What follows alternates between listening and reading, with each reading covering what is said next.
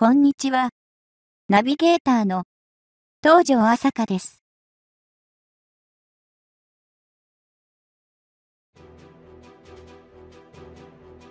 海事が誇る潜水艦が敵役に、静粛性ではトップクラスの潜水艦、各国共同で探し出す訓練を、日米英合同訓練はどんな展開を見せたのか。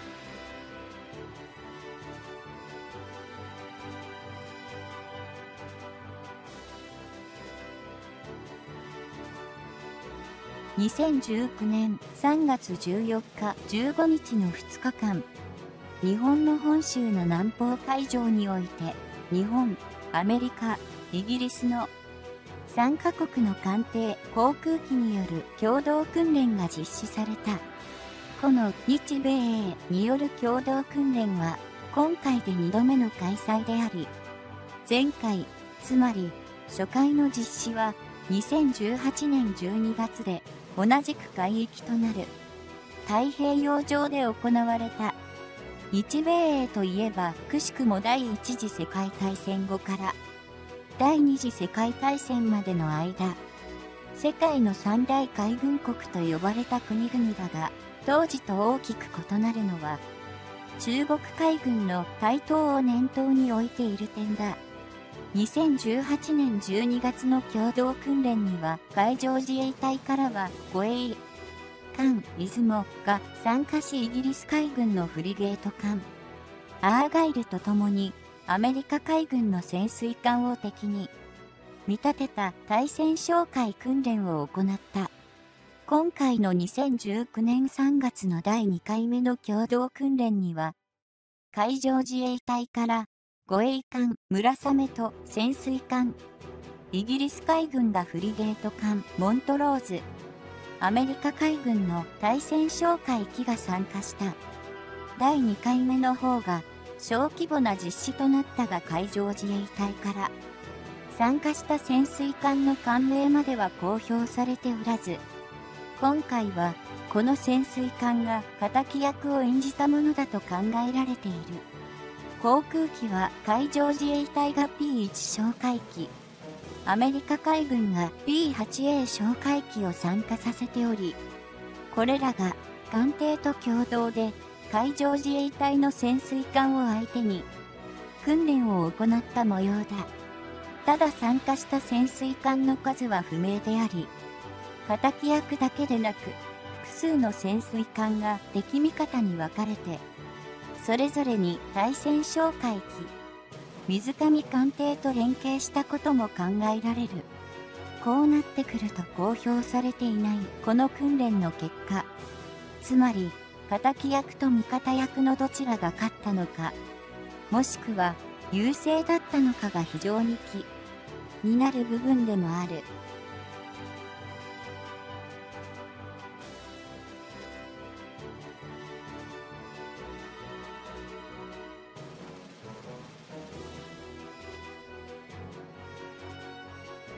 どちらにせよ太平洋に面し、これまでも日米同盟に基づく共同訓練を行ってきた日米に加えて本国から遠く離れた海域にまで艦艇を派遣したイギリスには注目だろう。イギリスは将来的には最新鋭の航空母艦クイーンエリザベスをもこちらの海域に派遣する予定だと伝えられており、中国海軍への対応に注力する姿勢が伺える。ただし、今回参加したイギリス海軍のフリゲート艦モントローズは、もともとは北朝鮮が行っている洋上での違法な物資供給を監視する目的で派遣されていたものだ。いわゆる、セドリと呼ばれるこの北朝鮮の違法行為に対し、各国が経済制裁を無効にしかねないとして、カナダやオーストラリアをはじめフランスも哨戒機の派遣を行っている。イギリス海軍のフリゲート艦モントローズは多くの海上自衛隊の護衛艦と同様にヘリコプターを搭載しており、これらを活用し、洋上の監視任務に当たっている状況だ。ちなみに、フランスも日本とインド太平洋海域における共同訓練実施に大筋で合意しており、フランスの誇る原子力航空母艦シャルル・ド・ゴールの派遣も予定されている。こうしてみると西側諸国の保有する航空母艦の多くが日本の近海に集中することとなり、海上自衛隊の出雲、加賀の改修後には、さらにその傾向が強まると言えそうだ。もちろん、この背景には、南シナ海で圧力を強める。中国海軍を牽制する狙いがあり、もはや一国では中国に対抗できない西側各国の協調路線が鮮明になったものと解釈できる。このような動きの中で日本をはじめ、中国海軍への抑止力として期待されるのは、やはり第5世代のステルス戦闘機 F35 シリーズの配備だと思われる。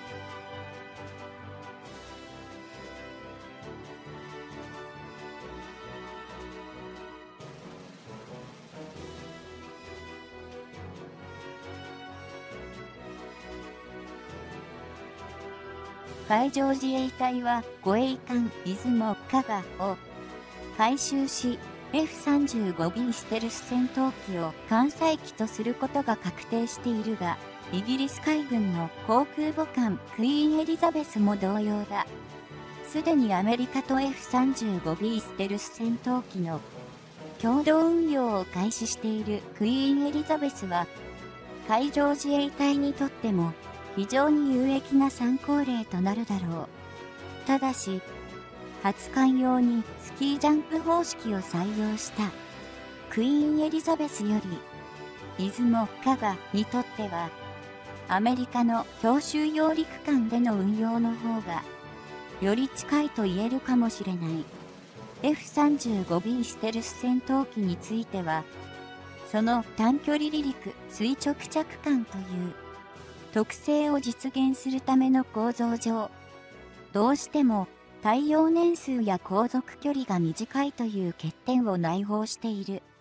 しかし、同機が持つ高度なステルス性能と最新のレーダー技術は、仮想的たる中国海軍の策敵網を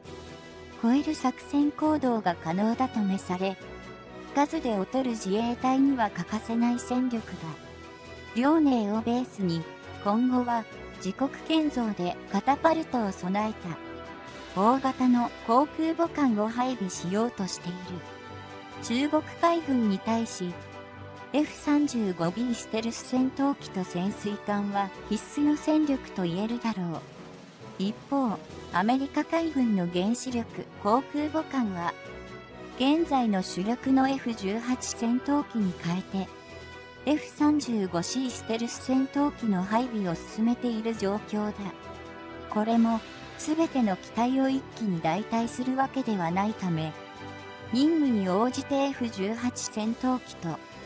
F35C ステルス戦闘機を併用する運用となるのだろう。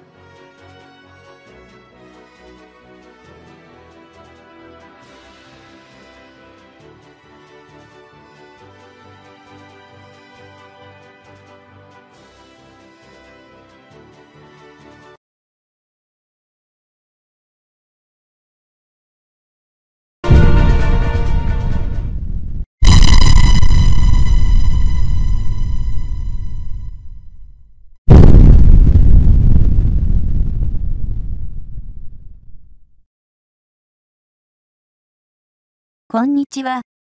ナビゲーターの東條朝香です。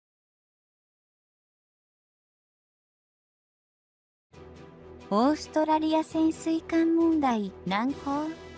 日本人をもっと理解できていれば、今頃高性能な潜水艦が、しかし日本にとっては良かったのかもしれない。胸をなで下ろす関係者は多く他国への機密漏洩につながる。世界でも現在トップクラス原子力潜水艦にも引けを取らない。その潜水艦にオーストラリアは今日も悔やんでいる。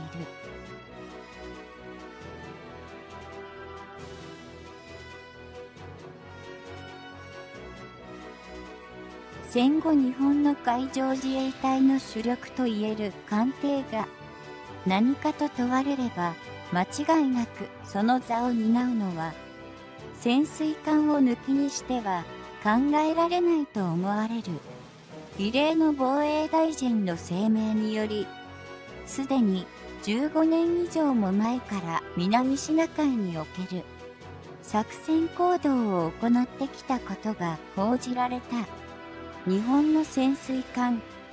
現在は総流型が最新の艦級である。総流型潜水艦は1番艦の総流から始まり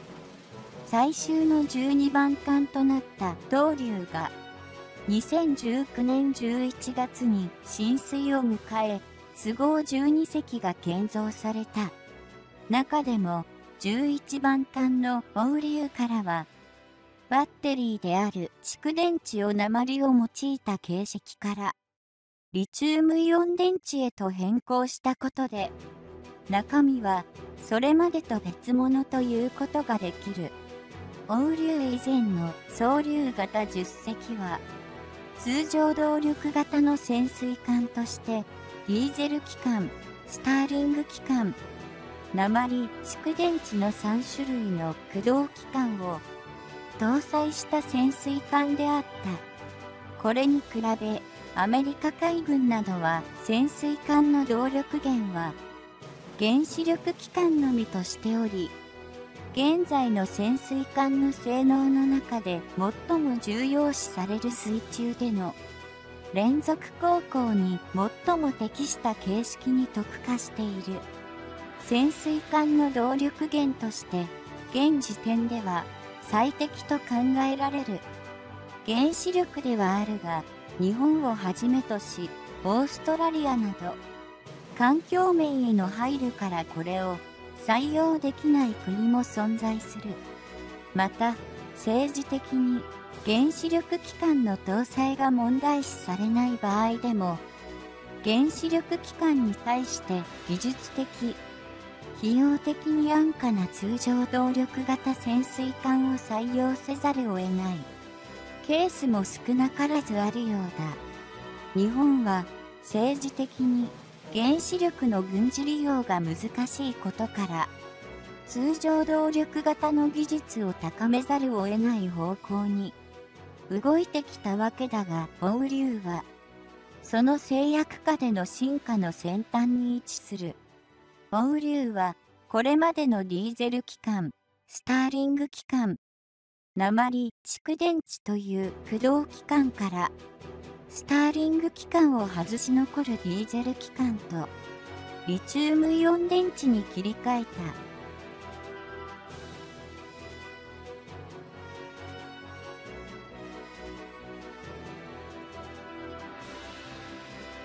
非待機依存型の推進機関として大きさの割に出力が低いスターリング機関は水中での航行に向けた。対策だったがこれを高効率のリチウムイオン電池で代替。することに成功したのだ。これまでもリチウムイオン電池が従来型の鉛蓄電池よりも優れていることは明白だったが発火しやすいという欠点を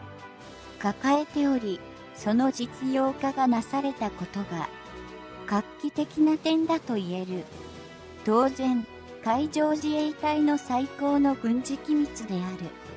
潜水艦の性能について詳細な公表は望むべくもないが、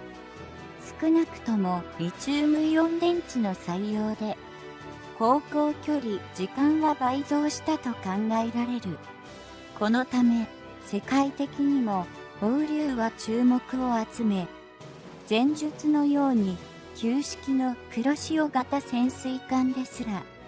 南シナ海での作戦行動が可能なことと合わせて、日本の技術力の高さを知らしめた。そもそも、現代の潜水艦とは敵に探知されないことが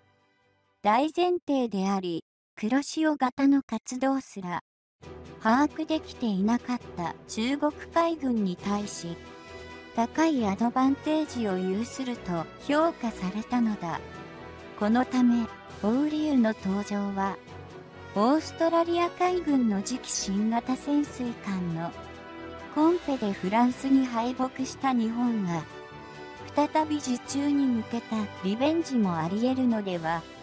ないかとの声も上がった。さすが、さすがに、このオーストラリアの次期潜水艦については、今更日本への発注に決定が覆る可能性は低く、リチウムイオン電池の搭載という新機軸がもたらした噂の域を出ないものだろう。建造の難航が伝えられていたフランスの新型潜水艦も2019年7月にようやく竣工し、この原子力潜水艦の後にオーストラリア用の通常動力型の建造への目処が立ってきた模様だ。